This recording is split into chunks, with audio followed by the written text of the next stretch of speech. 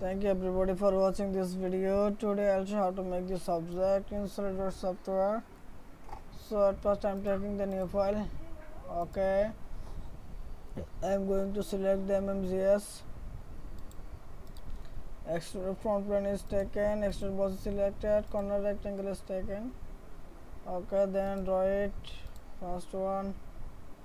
Then I'm going to the diamond. Before going this, I'm taking another uh, corner rectangle is taken again. Okay. Then I'm going to the smart dimension. It will be how much? 50 millimeters.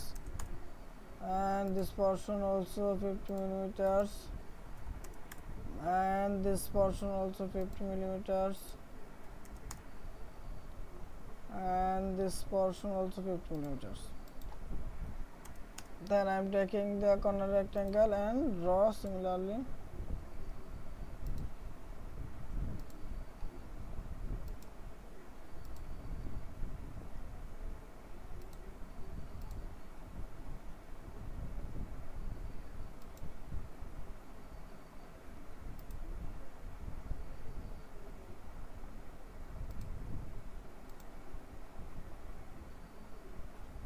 then I am going to the smart dimension and determine every dimension. It will be 50 this one also 50 this portion 50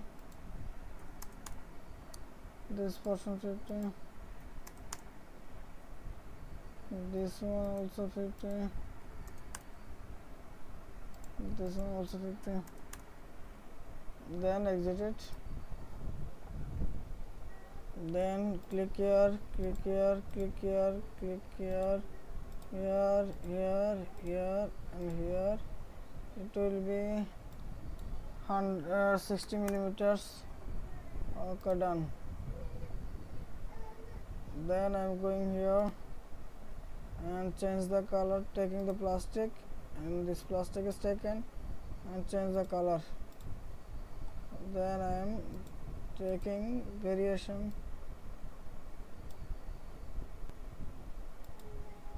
okay thank you everybody for watching this video. Please subscribe my channel like comment and share. Thank you so much everybody for watching this video